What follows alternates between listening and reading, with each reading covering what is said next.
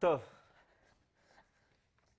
אז אה, בוקר טוב, ונתחיל בעוקב שטוח, בתכנון תכנון גרפי של עוקב שטוח, בדומה לתכנון גרפי של עוקב אה, עם חוד או עם גלגלון שדיברנו בשבוע שעבר.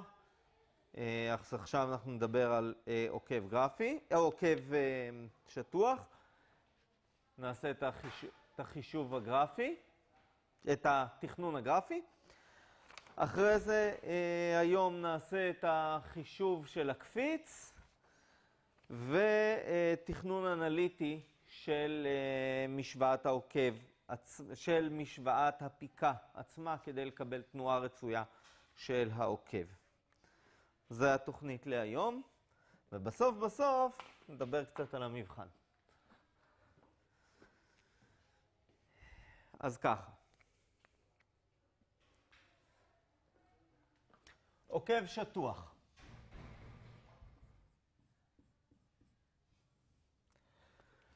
עוקב שטוח באופן כללי, אם זאתי הפיקה, העוקב שלי, לא, הוא צריך להיות ישר.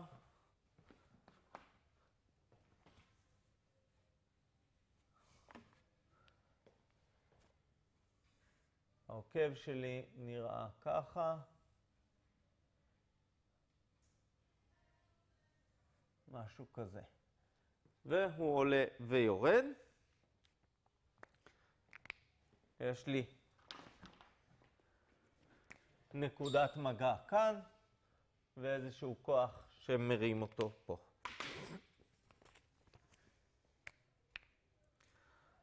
אז עוקב שטוח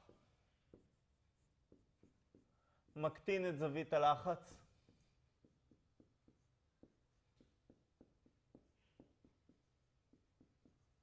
כי כל הכוח מועבר בצורה האנכית. כן יש החלקה. יש החלקה בין העוקב לפיקה.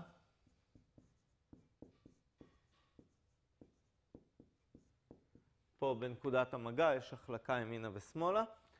אה, ופרט אחרון זה שפרופיל הפיקה, הפיקה חייב להיות כמור, דיברנו על זה.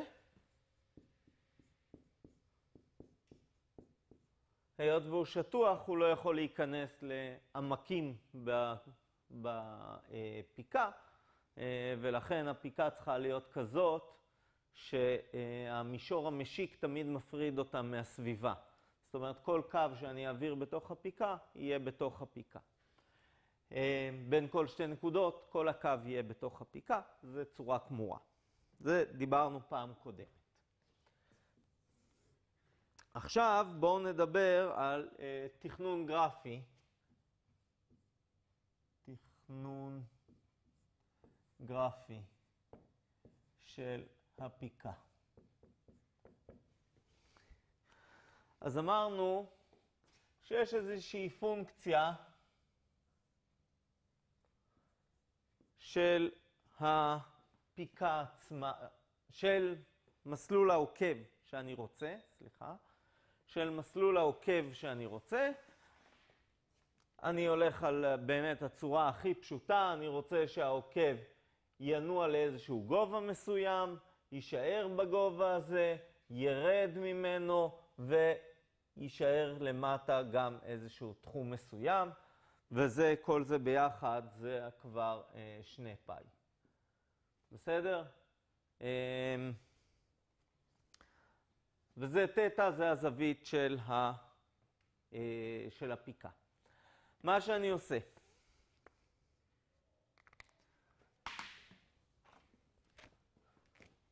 אני מעביר קו ישר, אופקי, פחות או יותר. בוחר איפה אני רוצה את מרכז הפיקה. מרכז הזה, ואז יש לי את רדיוס המעגל היסודי,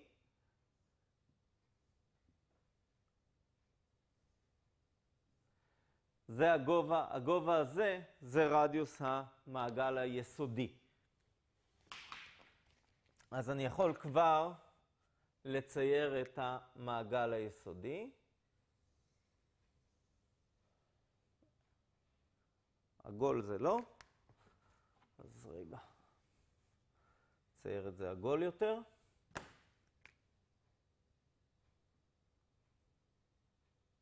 בערך.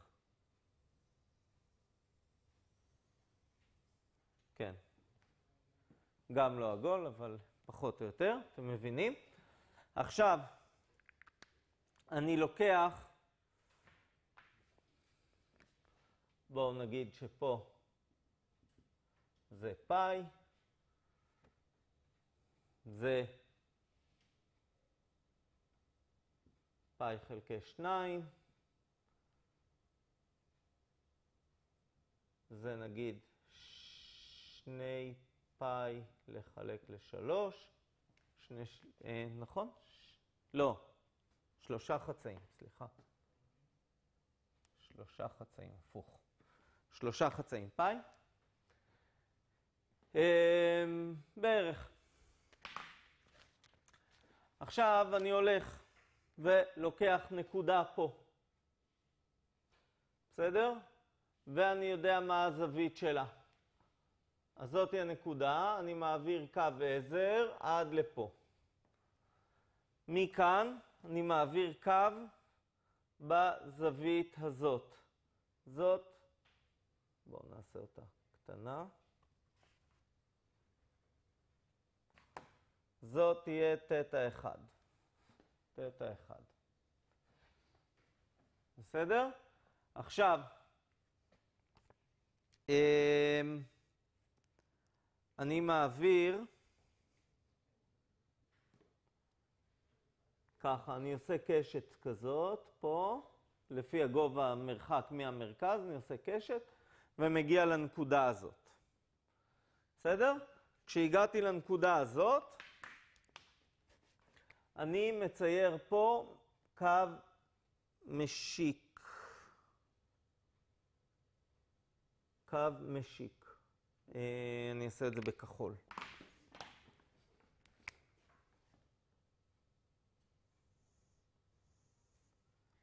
זה הפרופיל של העוקב.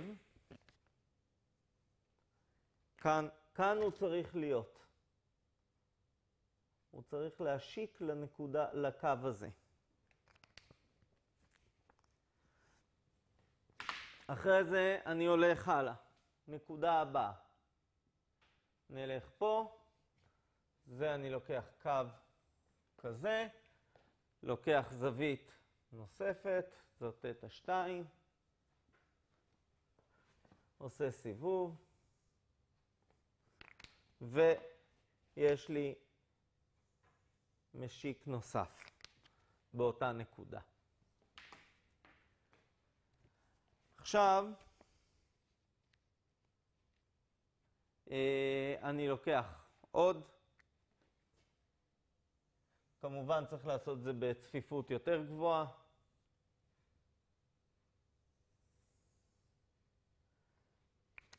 ואז פה יש לי מש, משיק נוסף. מה? בסדר? וכן הלאה וכן הלאה. לא אעשה את הכל. עכשיו אני מעביר איזשהו עקום, ופה כמובן יש לי משיק נוסף. אני צריך להעביר עכשיו עקום כזה שישיק לי לכל הישרים האלו. זאת אומרת, אני לוקח איזשהו משהו כזה, זה לא חייב לגעת בנקודה. רק זה כן חייב שהוא יהיה משיק. זה ניצב, זה ניצב, זה ניצב, אבל אני מעביר עקום שהוא משיק. זה הולך ככה. משיק לאיפשהו על הקו.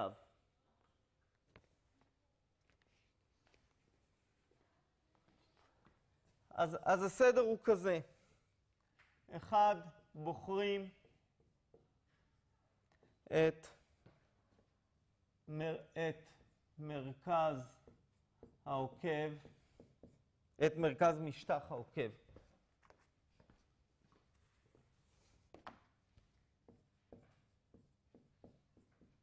העוקב כנקודת ייחוס.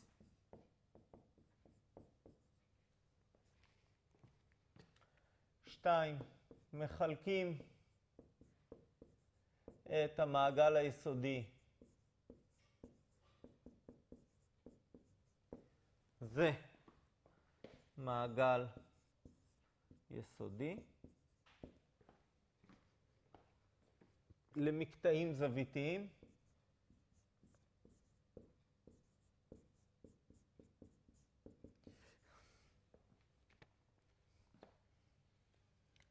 שלוש, מציירים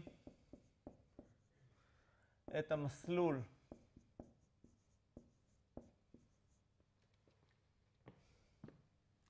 המסובב של העוקב דרך כל נקודה על המעגל היסודי.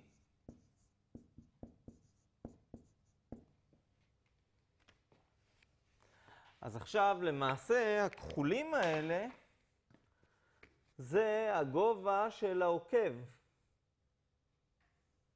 אתם רואים? זה העוקב שנמצא פה ונוגע. מציירים את המסוב... דרך כל נקודה על המעגל היסודי.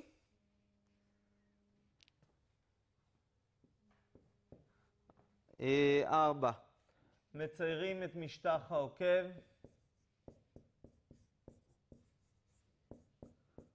העוקב כניצב למסלול המסובב.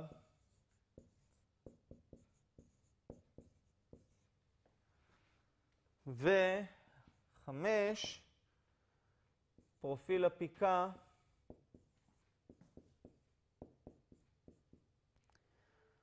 משיק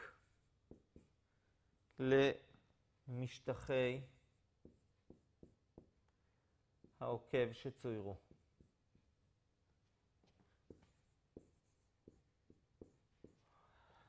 אז זה מה שעשינו, וככה בנינו את העוקב, את הפיקה, סליחה, באופן גרפי, ככה שתתאים למסלול העוקב. עכשיו, יש דבר נוסף. יש לנו פיקה ויש לנו עוקב. הפיקה הזאת מסתובבת באיזושהי מהירות. בחלק מהזמן הפיקה מעלה את העוקב כלפי מעלה, בחלק מהזמן העוקב יורד כלפי מטה. זה טוב כשהפיקה והעוקב אנכיים, תחשבו עליהם כשזה אופקי. כשזה אופקי אז אין כוח שיוריד את העוקב כלפי מטה. אם הכל אופקי. אבל גם אם זה אנכי, עדיין, אם הפיקה מסתובבת מאוד מהר, אנחנו לא נצליח, יותר נכון, אם התאוצה שלה יותר מהירה מתאוצת הכובד, והעוקב צריך לרדת יותר מהר, להאיץ יותר מהר מתאוצת הכובד, הוא לא יכול, כי כל מה שיש לו כלפי מטה זה תאוצת הכובד. אז מה שנהוג לעשות זה לשים פה קפיץ. שמים קפיץ שדוחף את העוקב אל הפיקה ומצמיד אותם. מה שנעשה עכשיו, נחשב מה צריך להיות קבוע הקפיץ הזה, כדי שהוא באמת יחזיק.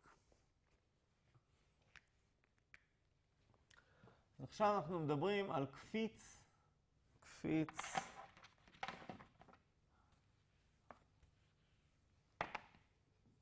קפיץ העוקב.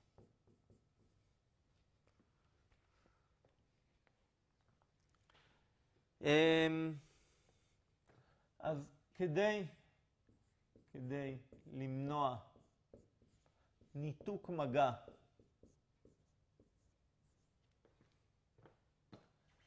בין העוקב לפיקה בזמן תאוצה כלפי מטה,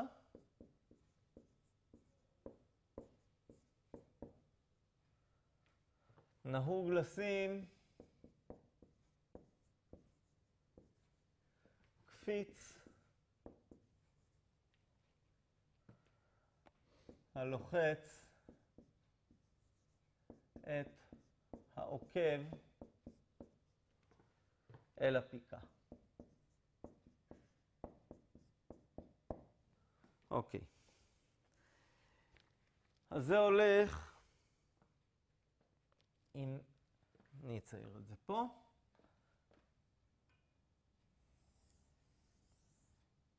אם זאת הפיקה, ויש לי את העוקב.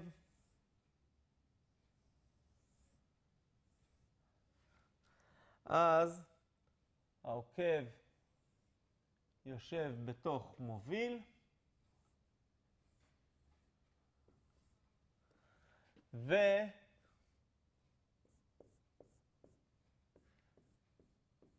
ויש לנו קפיץ כאן בין זה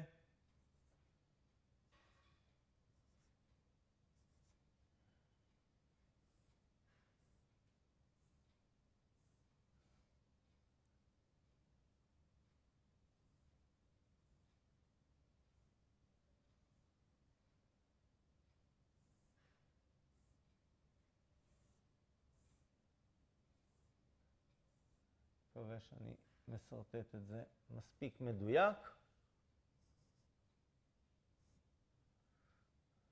משהו כזה.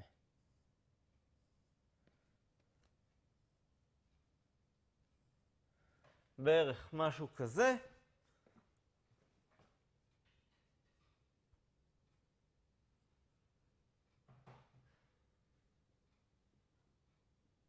ככה. יש לנו קפיץ.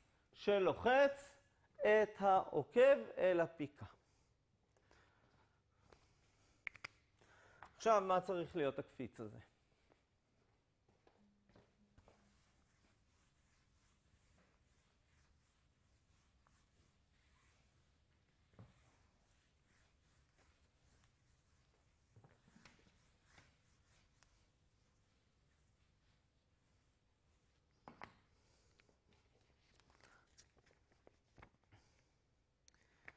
טוב.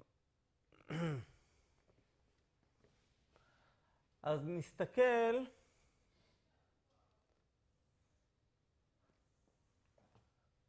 על מסלול הפיקה עצמה. ה... כן, הפיקה. 아, לא, העוקב, סליחה. S זה העוקב. העוקב, נגיד שיש לנו איזשהו מסלול של עלייה, ואז הוא מגיע למהירות קבועה. אז יש לו חלק שהוא מאיץ וחלק שהוא מאיט. רואים את זה? אחרי זה גם הצד השני, אפשר להמשיך את זה הלאה, אני אעשה את זה רק על החצי הראשון. אז אם יש לי את מסלול התנועה, אני יכול לגזור אותו פעמיים ולקבל את תאוצת העוקב. בסדר? אז אם תאוצת העוקב, בערך פה היא מתחלפת בין האצה להאטה. פה אנחנו מגיעים כבר למהירות קבועה, למיקום קבוע, זאת אומרת המהירות תהיה שוב 0, התאוצה תהיה שוב 0, והתאוצה עולה, מגיעה ל-0 פה כי הוא מחליף כיוון, ויורדת ו... מגיעה שוב לאפס, כי הוא מגיע שוב פעם למצב סטטי. זה בערך הפרופיל של התאוצה על, על עקום כזה. עשינו את הפרופילים באחד השיעורים הקודמים, שדיברנו על פרופיל התנועה.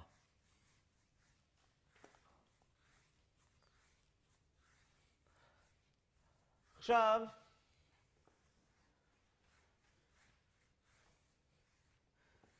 אם יש לי A של תטא, זה פה.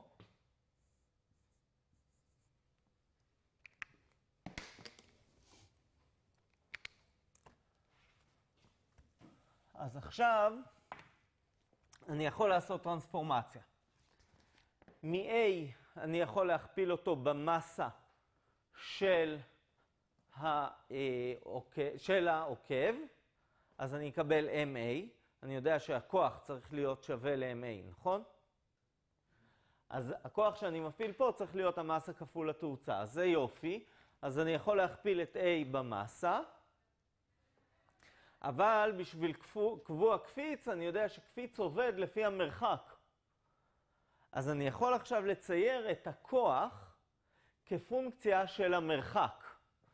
אני אקח את התאוצה, אני אקח את S באותו, בכל תטא, ואני אצייר גרף כזה.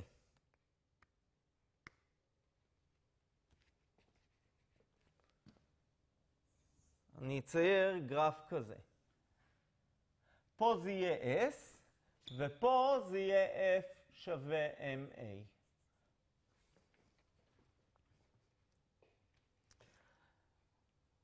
ואז אני לוקח S מפה, A מפה, בסדר? ומכפיל רק ב-M, ואני אקבל משהו שנראה מאוד דומה לזה. אקבל איזשהו גרף גם כזה. אז זה MA. עכשיו, זה לא נכון שזה F, זה צריך למחוק, כי מה ה-F? גם, בדיוק, גם הפיקה וגם הקפיץ. F שווה ל-mg פלוס ma. אמ, מה זה? לא, אני מדבר על כלפי, כלפי מטה דווקא הבעיה שלי, בתאוצה כלפי מטה. אז MG ו... אז יש לי גם MG וגם MA. MG כבר יש לי. אני יכול להעביר פה MG. גובה MG תאוצה יש לי, זה כוח שהוא כבר מוכן.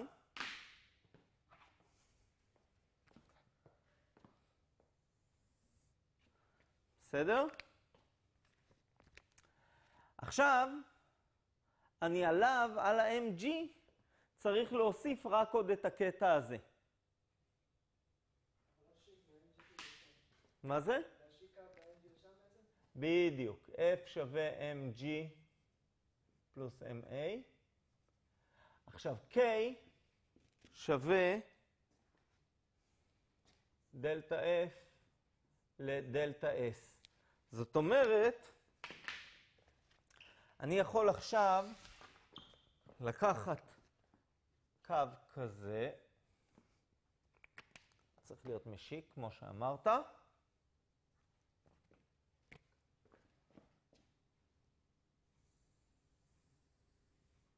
כזה, וזה קו הכוח של הקפיץ. זאת אומרת, כשהקפיץ ינוע דלתא S, הוא צריך לתת את הכוח דלתא F הזה.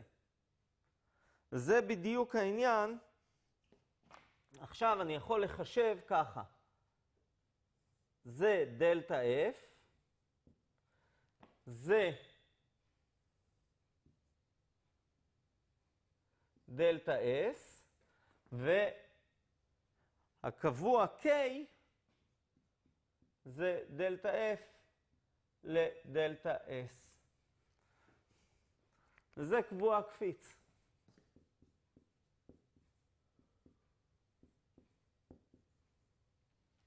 וככה אני יכול לקבל אותו ישר מהדיאגרמה הזאת.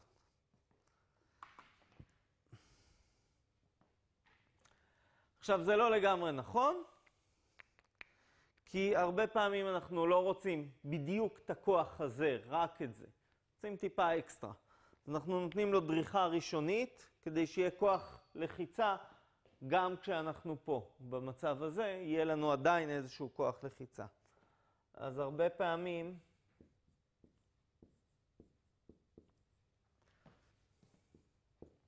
נותנים לקפיץ דריכה ראשונית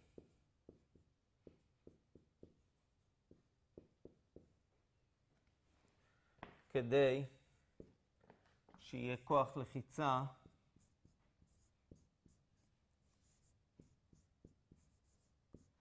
גם כש-S שווה ל-0.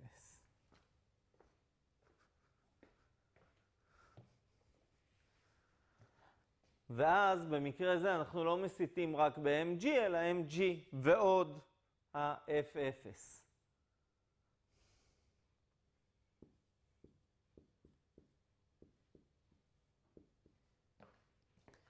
ההסתה הראשונית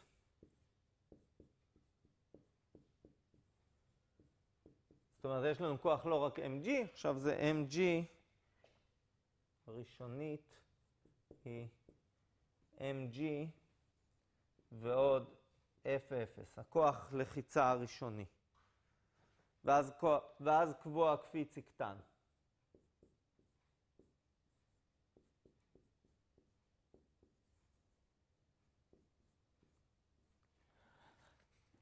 אז מצד אחד, אנחנו לא רוצים קפיץ חזק מדי. אנחנו רוצים כן ללחוץ באיזה כוח ראשוני, אבל אנחנו לא רוצים קפיץ חזק מדי, כי קפיץ חזק מדי יצמיד לנו את העוקב אל הפיקה, יגדיל את הכוח הנורמלי, ובגלל זה גם יגדיל את כוח החיכוך ויביא לשחיקה מואצת. אנחנו לא רוצים אותו חלש מדי, כי אם הוא יהיה חלש מדי, אז הוא פשוט לא ייצמד. כשהפיקה תסתובב מספיק מהר, תהיה לה תאוצה מספיק גבוהה, לא, זה לא שאלה של מהירות, אלא תאוצה, תהיה לה תאוצה מספיק גבוהה, אז העוקב לא יספיק להאיץ ולהגיע אל הפיקה, ולמעשה לא יעקוב טוב ולא יבצע את המסלול שאנחנו רוצים עד הסוף. אז זה גם לא טוב. אז אנחנו לא רוצים קפיץ חזק מדי, אנחנו לא רוצים קפיץ חלש מדי. אז אנחנו מכוונים אותו בדיוק לפי זה. לוקחים טיפה אקסטרה בשביל, אה, בשביל שייצמד, ולוקחים בחשבון שזה יביא קצת לשחיקה. זה, אה, זאתי השיטה שבה אנחנו מחשבים את, ה, אה, את הקפיץ.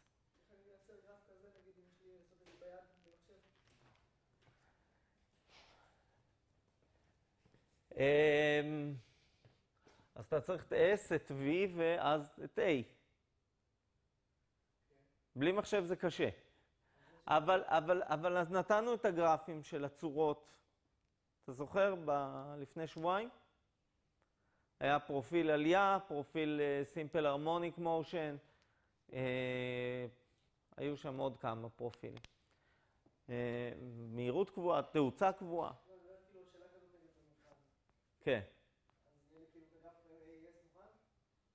לא, אבל אני חושב שאם תיתן את זה או איכותית או שתצייר את זה נכון, זה יהיה מספיק טוב.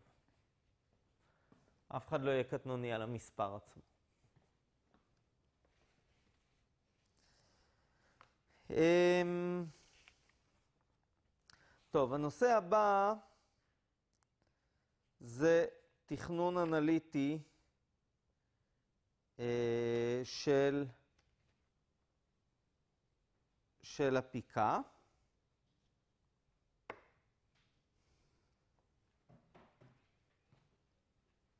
כן. אה, אז זה תכנון אנליטי של, של הפיקה. אז בואו נראה איך זה נעשה. אני, אני אתחיל את זה עכשיו ואנחנו נמשיך אחרי ההפסקה. זה הולך ככה.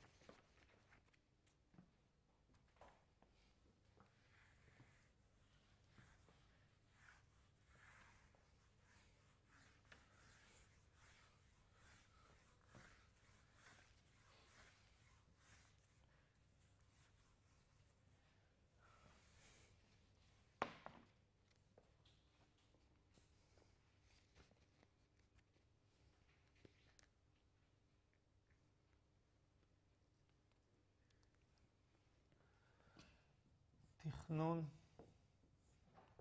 אנליטי של הפיקה. עד עכשיו הכל היה גרפי, עכשיו אנחנו רוצים לעשות את זה אנליטי. טוב.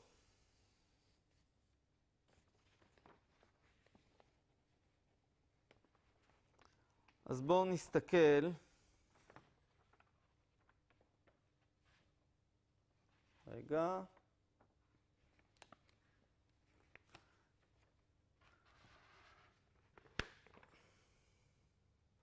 אז אנחנו מדברים על עוקב בתנועה אופקית.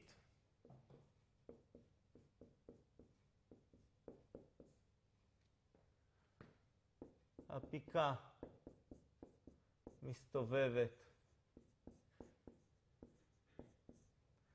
עם כיוון השעון.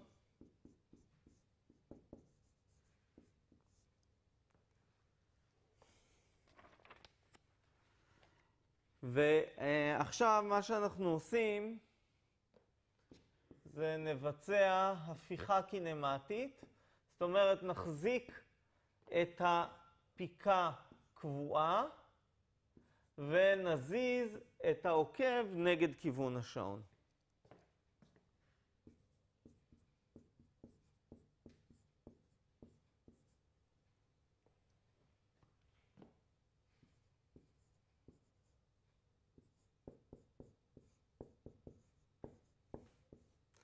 ואז אנחנו יכולים לראות כמה דברים.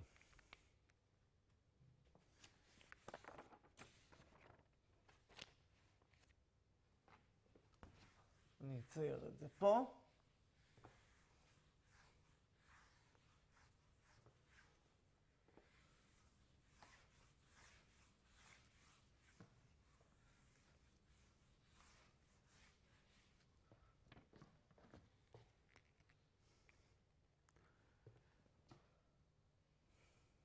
נגיד שהפיקה שלי נראית כמו איזה אליפסה כזאת.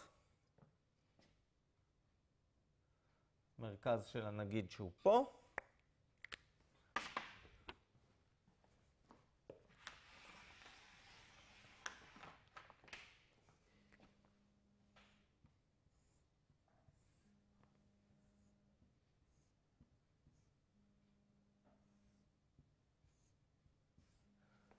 בסדר?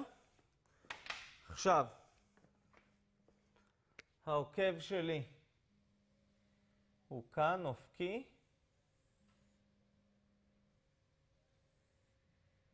בסדר? והוא נע ימינה ושמאלה. זה העוקב. עכשיו, העוקב הזה הסתובב, או הפיקה הסתובבה, זה אותו דבר. אנחנו נסתכל על המצב שהעוקב עכשיו נמצא כאן.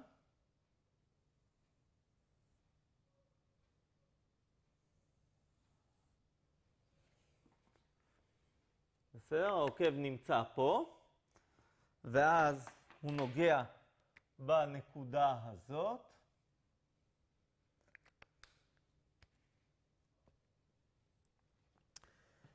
ולנקודה הזאת יש כמה פרמטרים. דבר ראשון, בואו נסמן את ציר העוקב, בסדר? אל המרכז.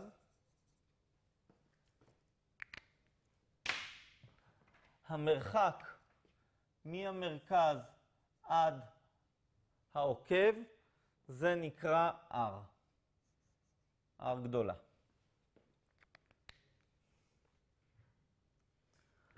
ההסט בין נקודת המגע לציר העוקב, זה נקרא L.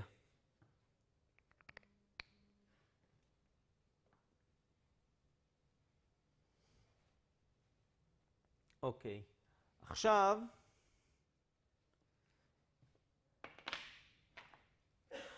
הזווית הזאת, זאת תטא,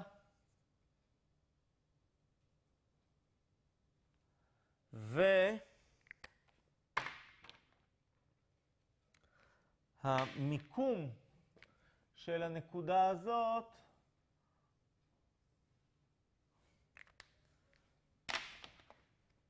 אם זה ציר x וזה ציר y, אז לזה אנחנו קוראים x מיקום נקודת המגע וזה y מיקום נקודת המגע.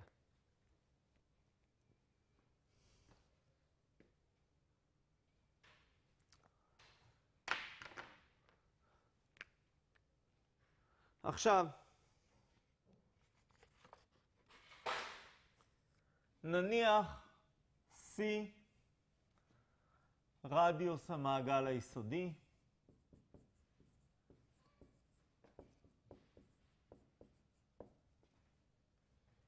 L מרחק בין נקודות, בין נקודת המגע ומרכז העוקב.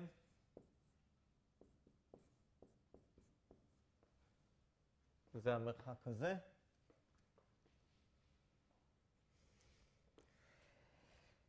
R,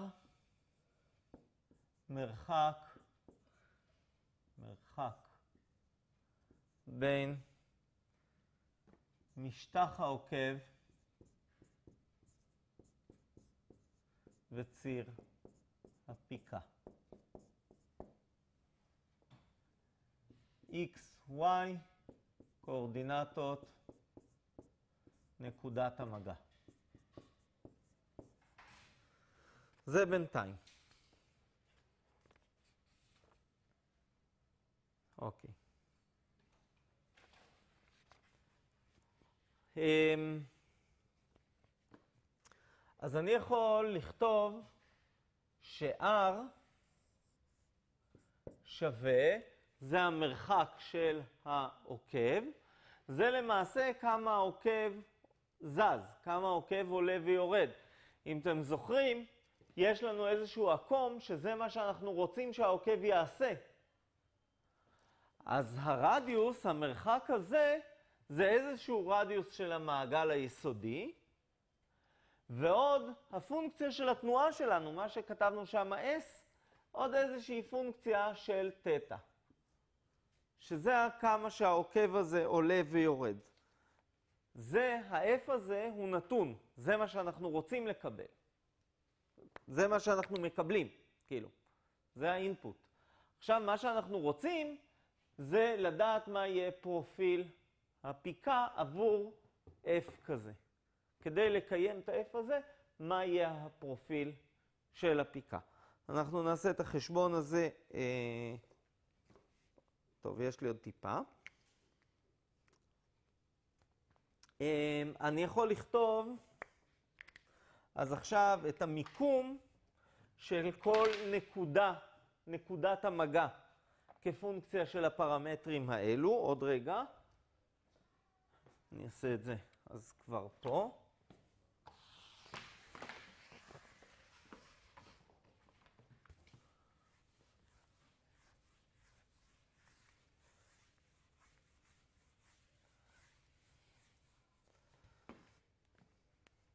אז אני יכול לראות מה זה x. x, נכון? זה המרחק הזה. אז אני יכול ללכת r לפה ו-l לפה. רואים? זה כדי להגיע ל-x. אני הולך r קוסינוס זה ההיטל, וחוזר אל, אה, סינוס. כי זה אם אני אסתכל פה בציור, אז אם אני אמשיך את הקו הזה הישר, אז אם פה זה תטא, אז כאן זה 90 מינוס תטא, וכאן זה 90, אז כאן זה גם תטא. רואים?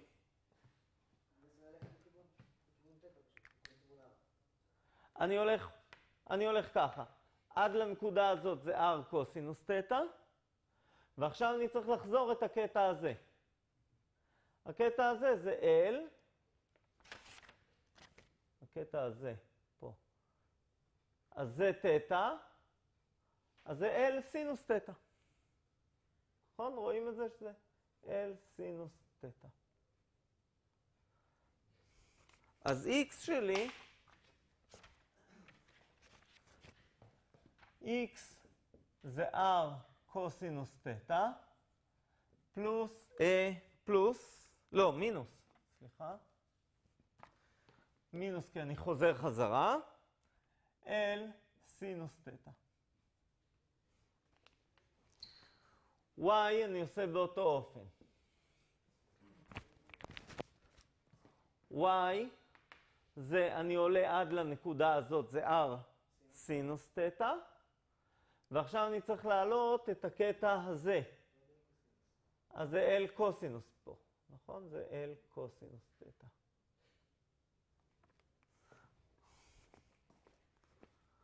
אז y שווה r סינוס תטא, ועוד L קוסינוס תטא. וזה למעשה הקואורדינטות כבר של הפיקה, x ו-y, כפונקציה של תטא. יש פה עוד שני דברים שאני לא יודע, r כן נתון לי, r נתון, זאת אומרת אני יכול להציב אותו ישירות לפה, תטא נתון, אני גם יכול עבור כל תטא להגיד מה x ו-y, מה שאני לא יודע זה l. אני לא יודע את ההסט הזה. בסדר? את ההסט הזה. וזה מה שנעשה אחרי ההפסקה, נחשב את L. אז הפסקה.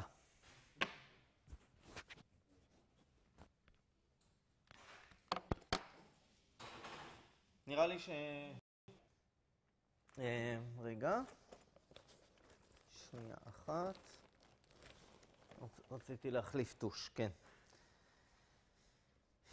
בסדר.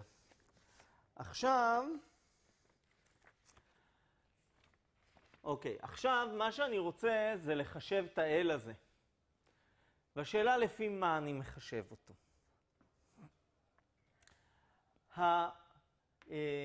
הפיקה עולה ויורדת, או ימינה ושמאלה, היא נעה. עכשיו, אם נסתכל, אם אתם זוכרים, מרכזים רגעיים. נסתכל מה המרכז הרגעי של העוקב ושל הפיקה. אז הנקודה הזאת על העוקב היא נעה למעלה למטה, נכון? איזה נקודה על הפיקה נעה באותו כיוון?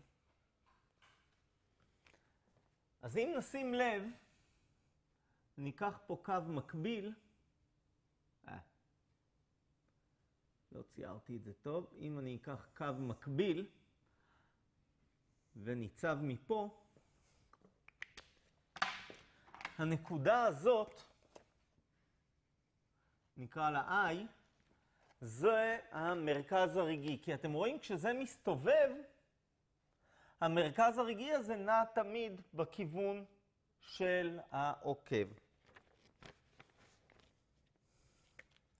אז I זה נקודת מרכז רגעי של הפיקה והעוקב. והם נעים באותה מהירות. שם הוא נמצא והם נעים באותה מהירות. אוקיי. את זה אני אכתוב לכם רק, שזה כמו S שחישבנו. אוקיי. זה השכתוב של הדברים הקודמים. אז עכשיו, בואו נחשב את המהירות של המרכז הרגעי הזה. המרכז הרגעי הזה נע. מה המהירות שלו? הפסדת. אמרנו שהנקודה I היא מרכז רגעי של העוקב ושל הפיקה. הנקודה הזאת שהערכתי פה את הקו מקביל לנקודת מרכז העוקב, ולקחתי ניצב מהמרכז, הנקודה הזאת נעה באותו כיוון כמו העוקב, וגם באותה מהירות. ועכשיו נחשב את זה. אם זה המרכז הרגעי, אז המהירות שלו על העוקב, VI, מהירות המרכז הרגעי,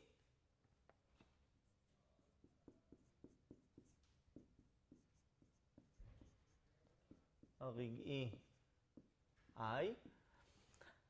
המהירות שלו על העוקב זה כמה העוקב נע, עולה ויורד. אז מה המיקום של העוקב? זה R, נכון? R גדולה. אז המיקום זה dr ל-dt. המהירות, סליחה. המיקום זה R, המהירות זה dr ל-dt. אבל אתם רואים, הגודל הזה L והגודל הזה L. עכשיו, הנקודה הזאת מסתובבת בתטא, תטא דוט. אז זה שווה מצד שני על הפיקה באומגה L. ואומגה L זה דיטטה ל-dt כפול L. זה על הפיקה. וזה על העוקב. על העוקב. עכשיו, זה צריך להיות שווה. אם זה שווה, אני יכול לבודד מה זה L. כי L, בואו תראו, L שווה dr ל-dt כפול dt ל-dθ. עוד רגע נגיע לזה, כן. dr ל-dt כפול dt ל-dθ.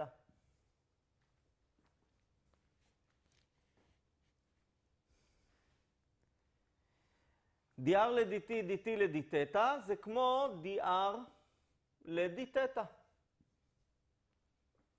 אבל dr ל-dθ אנחנו יודעים לעשות, כי מה זה r? r זה פונקציה של תטא. זה קבוע ועוד כמה, שה, אה, כמה שאנחנו רוצים שהעוקב יעלה. אז זה זה. אז זה שווה ל-d ל-d תטא, ועכשיו נציב את r, זה c ועוד f של תטא. c כשאני גוזר אותו לפי תטא כמובן נופל. ואז אנחנו מקבלים ש-L שווה ל-df של תטא ל-d תטא. וזה בדיוק f תג. עכשיו, את f אנחנו יודעים, f אנחנו מתכננים. f זה כמה שאנחנו רוצים שהוא יעלה וירד. אז עכשיו, אם תכננו את f, אז אנחנו יכולים להגיד מה זה L. ואם תכננו את L, אם אנחנו יודעים מה L, אנחנו יכולים להציב ולקבל מה x ומה y עבור כל תטא. כי זה בדיוק מה שאנחנו רוצים. ולמעשה פתרנו את פרופיל העוקב. בסדר? מכאן יש לנו את פרופיל הפיקה.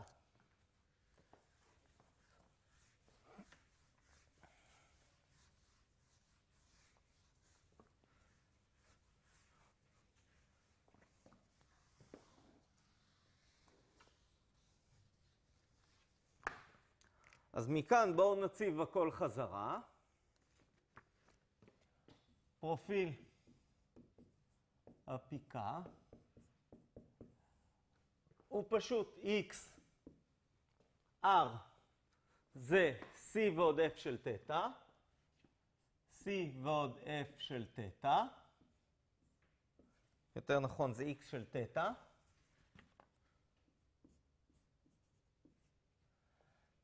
כפול קוסינוס תטא, מינוס, עכשיו L זה F תג של תטא, סינוס תטא. ו-y של תטא שווה עוד פעם c ועוד f של תטא, סינוס תטא, פלוס L זה עוד פעם f תג, קוסינוס תטא. עבור תטא בתחום בין 0 ל-2 פאי. או מינוס פאי עד פאי, אותו דבר. אמ, וככה אני יכול לצייר את פרופיל הפיקה. טוב.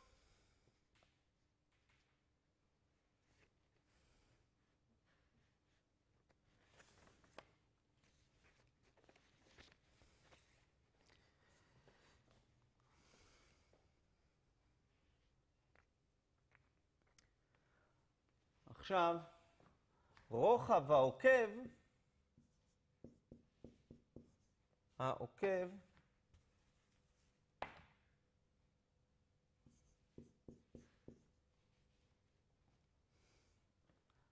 צריך להיות שני L. זאת אומרת, זה צריך להיות פעמיים F תג של תטא. עכשיו אני צריך למצוא את F תג המקסימלי. אז למעשה זה שווה...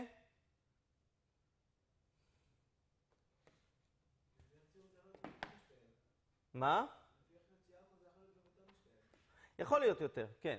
אז זה הרוחב העוקב המינימלי. מינימלי, צודק. אפשר יותר מזה. ולמעשה מה שאני רוצה שהוא יהיה זה אה, פעמיים המקסימום של f תג של תטא אה, עבור תטא בתחום 0 עד 2 פאי.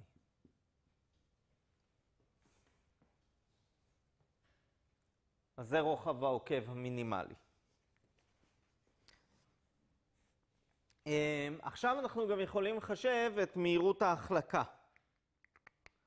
כמה, אה, כמה הוא מחליק.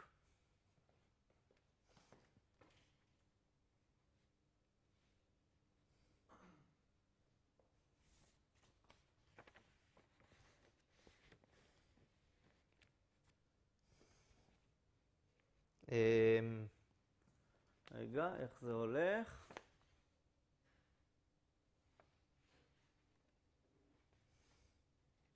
כן. בואו נסמן את הנקודה הזאת, פה את נקודת המגע כ-P, ואז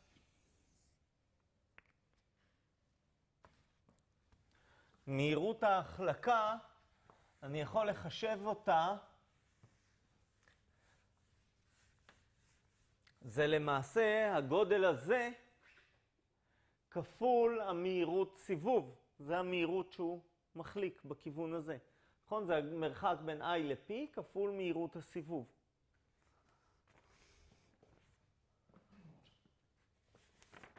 אז מהירות ההחלקה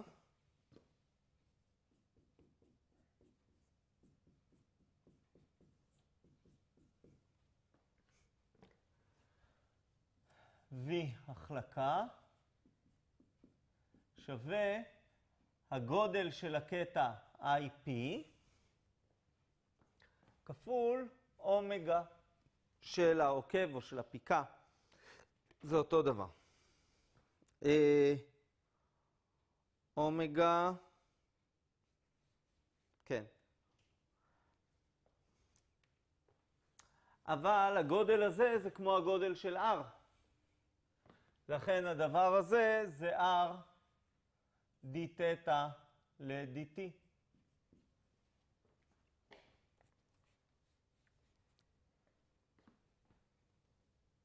אז זאת מהירות ההחלקה. אמ,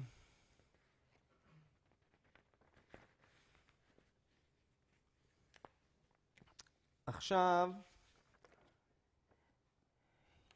יש, יש בעיה מסוימת. זה הפרופיל של העוקב, של הפיקה. עכשיו, יש מצבים שבפיקה, אם המעגל היסודי שלה קטן מדי, אנחנו יכולים לקבל או שפיץ או שממש חזרה על עצמו. וזאת בעיה, זה, זה משהו לא טוב. ואנחנו רוצים עכשיו לחשב מה הגודל המינימלי של המעגל היסודי. אז אני ארשום את זה. אם המעגל היסודי קטן מדי, עלול להתקבל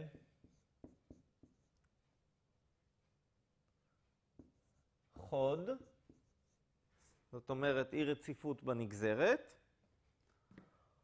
או במקרה קיצוני,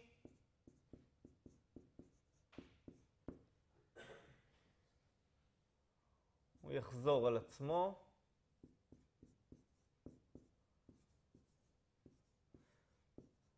זה נקרא קאספ.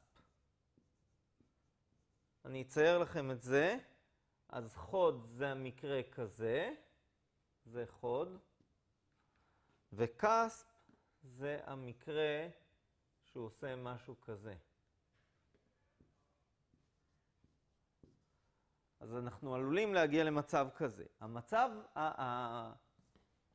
המצב קיצון, איך אנחנו מזהים, מתי אנחנו נגיע למצב כזה, זה כשהנגזרות של x ו-y כפונקציה של תטא מתאפסות. ואז שמה המהירות היא אפס או לא מוגדרת, אה, וזה המצבים שיביאו אותנו למצבי קיצון.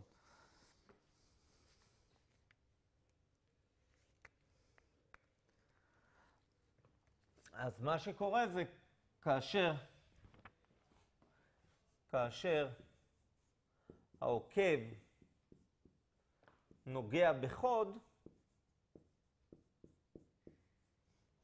אז נקודת המגע לא תזוז. דלתא תטא קטן לא יגרום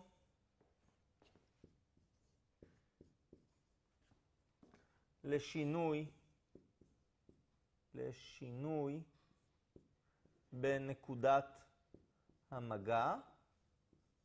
כלומר, dx ל-d יהיה שווה ל-dy ל-d שווה ל-0. זה המצבים שאני רוצה לתפוס אותם, להגיע שזה לא יקרה.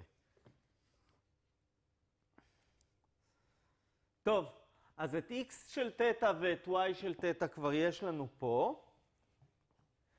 עכשיו, כל מה שאנחנו צריכים זה לגזור אותם.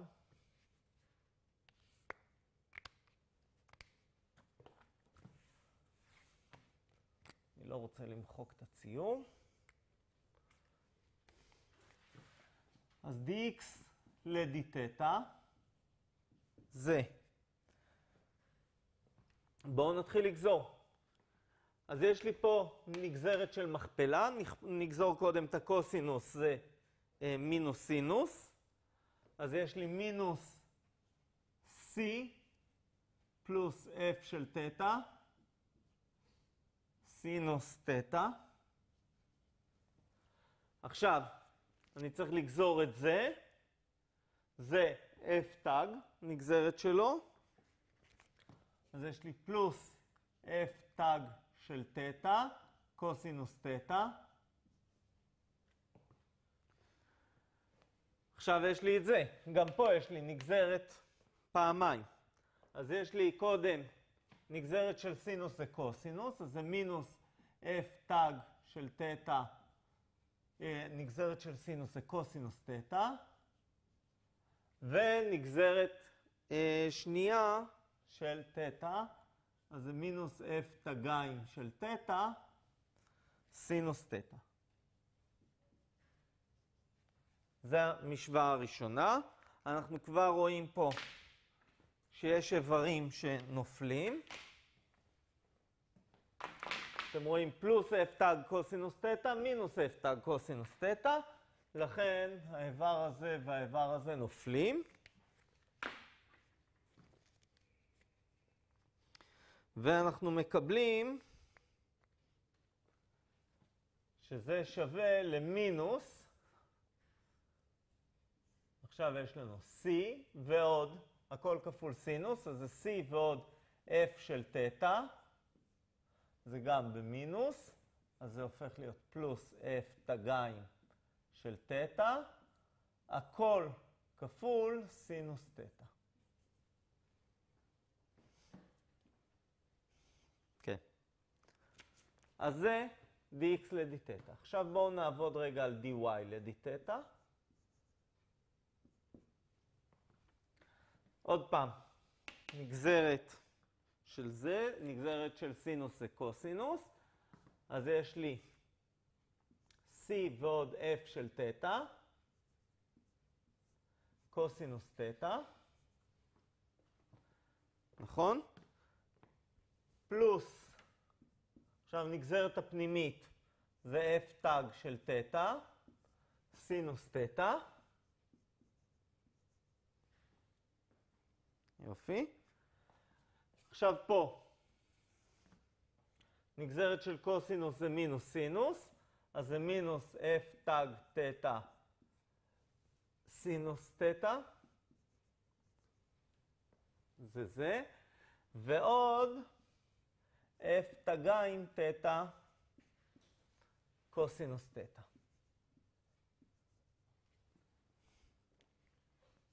כמו קודם, גם פה יש איברים שמצטמצמים, האיבר הזה והאיבר הזה, מבטלים אחד את השני, ואנחנו מקבלים פה C C ועוד F של תטא, פלוס F תגיים של תטא, כל זה כפול קוסינוס תטא.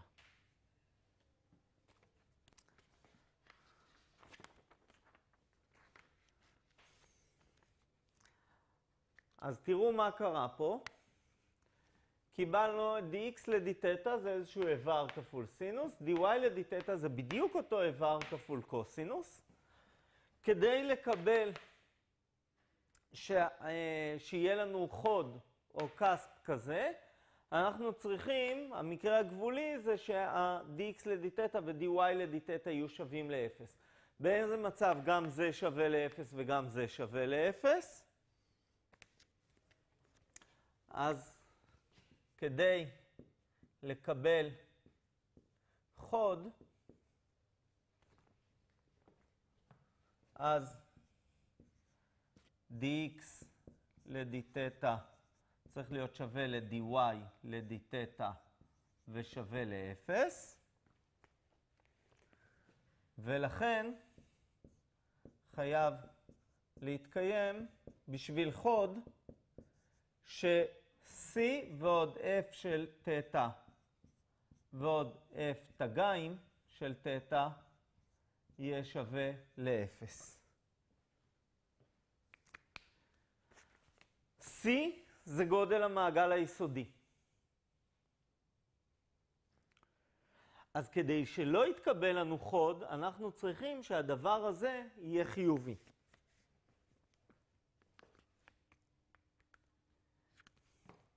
כדי לא לקבל חוד, או כספ,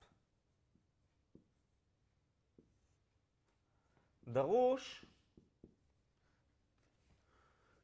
ש-C ועוד F של תטא ועוד F תגיים של תטא יהיה גדול מ-0 לכל תטא בתחום, בתחום 0 עד 2 פאי. אנחנו רוצים שהדבר הזה יהיה גדול מ-0 ממש, כדי שלא יהיה לנו חוד או כספ כזה. ומה שהפרמטר שנתון לשליטתנו כשאנחנו מתכננים את הפיקה זה C, זה גודל המעגל היסודי, הגודל של מעגל היסודי. אז יש לנו את S כמה הוא עולה, או F כמה הוא עולה, הפרופיל של העלייה והירידה, ועוד הרדיוס של המעגל היסודי. אנחנו יכולים להגדיל אותו כרצוננו ככה שהתנאי הזה יתקיים תמיד. וזו המטרה פה, שנגדיל את C ככה ש, אה, שהתנאי הזה יתקיים ואז לא נקבל חוד או כספ. אה, עד כאן על אה, פיקה ועוקב. אם יש שאלות אני אשמח לענות. אם לא, אז, אה, אז נדבר קצת על המבחן. אמ, אז לגבי המבחן, אני אמחק פה.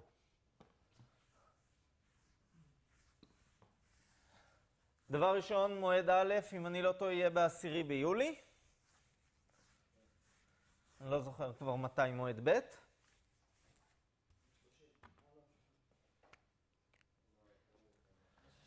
כן. בשישי? לאוגוסט, וואו. טוב. אז לגבי המבחן, דבר ראשון, חומר עזר. תקליט, תקליט. כן, כן, כן, תמשיך. חומר עזר למבחן. שני דפי A4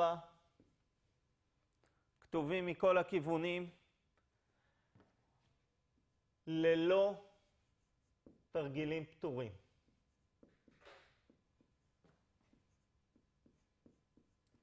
זאת אומרת, תכתבו לכם תיאוריות, מה שאתם רוצים, פיתוחים, לא דוגמאות של תרגילים שפתרנו.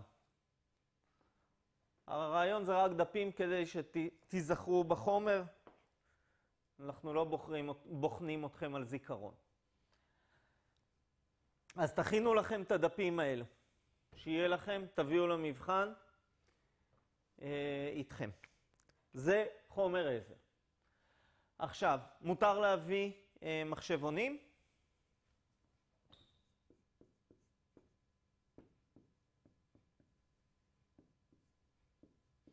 מחשבון מדעי רגיל, לא לפטופ וכאלה.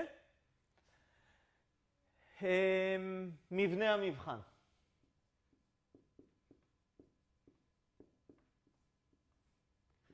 אחד, שאלה אנליטית.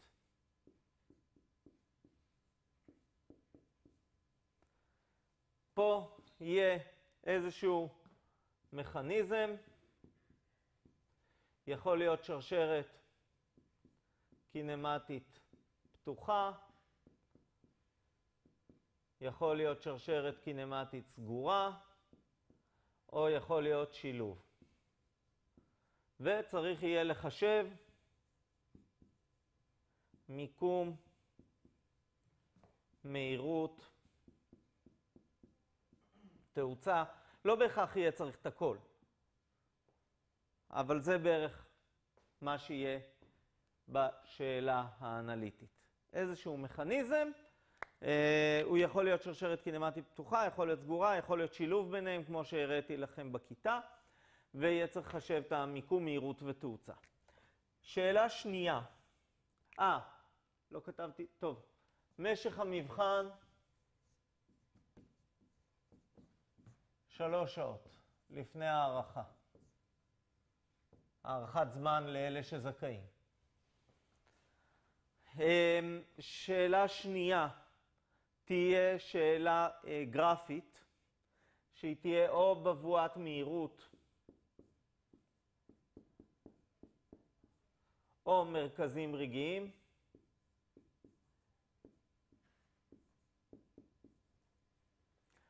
יכול להיות שילוב גם פלוס אולי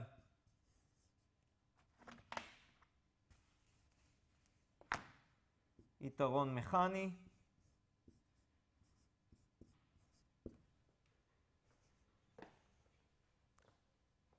זה, אה, זה השאלה השנייה. או מרכזים רגעיים, או בבואת מהירות, או גם וגם. שילוב ביניהם, יכול להיות שסעיף אחד יהיה לפתור בבבואה, וסעיף שני יהיה לפתור במרכזים רגעיים. בעיקרון, אבל זאת שאלה גרפית. זאת אומרת, צריך להביא אה, אמצעי שרטוט. יהיה לכם מקום על דף המבחן לשרטט את הבבואה או את המרכזים הרגעיים, ותגישו את דף המבחן עם, ה, עם המחברת, אם אתם מציירים על זה. או שתעתיקו למחברת ותעשו את הכל במחברת, זה גם אפשרי. זאת שאלה שני, שנייה. שאלה שלישית תהיה גלגלי שיניים.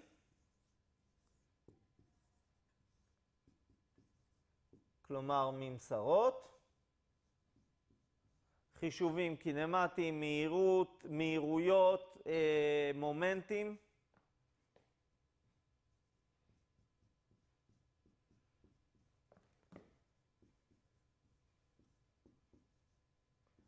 או לחילופין פיקה ועוקב.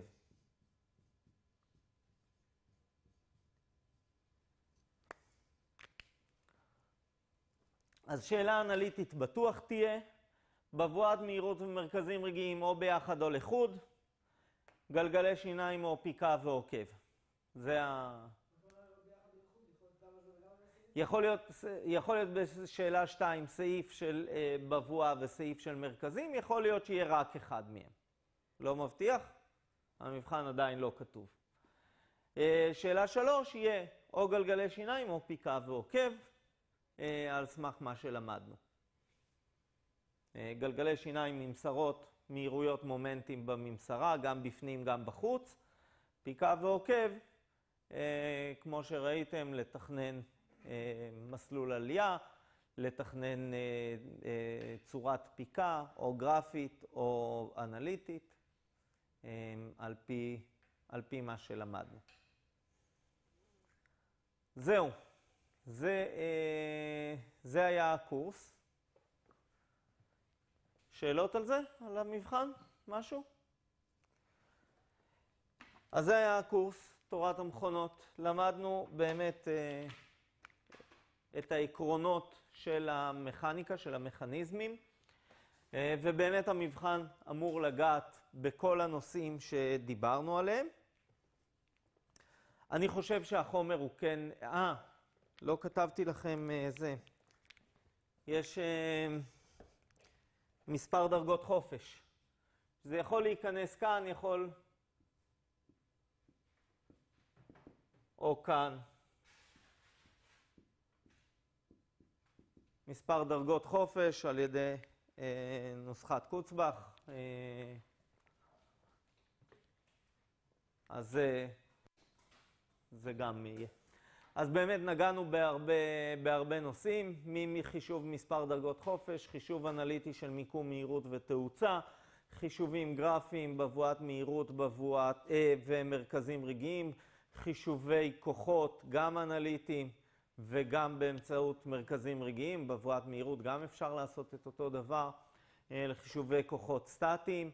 נגענו בממסרות גלגלי שיניים וחישוב מהירויות ומומנטים בהם, אה, וחישובי פיקה ועוקב. אה, הקפנו את כל החומר הזה, אני מקווה שלמדתם, נהניתם, החכמתם, ושתשתמשו בחומר הזה בעתיד, מי שיעסוק בתכנון של מכניזמים. רובוטיקה, בקרה, אוטומציה, אה, מן הסתם אה, יעסוק בזה. ואחת המותרות הגדולות מניסיוני של אה, מהנדסי מכונות, לפחות בתחום הרובוטיקה, זה שאנחנו מבינים גם איך המכניזמים עובדים וגם את הגיאומטריה לעומק, כולל המטריצות טרנספורמציה וכולל הנגזרות שלהם והמהירויות וכל הדברים. אנחנו יודעים לחשב את זה כמו שצריך, ולא אה, כמו מהנדסי חשמל או מדעי המחשב, אנשי מדעי המחשב, שהם לא לומדים את זה ופחות יודעים את זה. אני ראיתי אנשי אה, מהנדסי חשמל משתמשים במערכות צירים ימניות, שמאליות, דברים מוזרים. אז, אז לפי דעתי זה היתרון של מהנדס מכונות, שהוא מבין את הדברים האלה. גם אם הוא הולך לתחום התוכנה, גם אם הוא הולך לתחום הבקרה, שם היתרון הגדול שלנו, שאנחנו מבינים את המכניזם, מבינים את הגיאומטריה היטב. זהו, מקווה שתשתמשו, מקווה שנהניתם ולמדתם, ושיהיה בהצלחה במבחן. ונתראה בפרויקט, קורס פרויקט.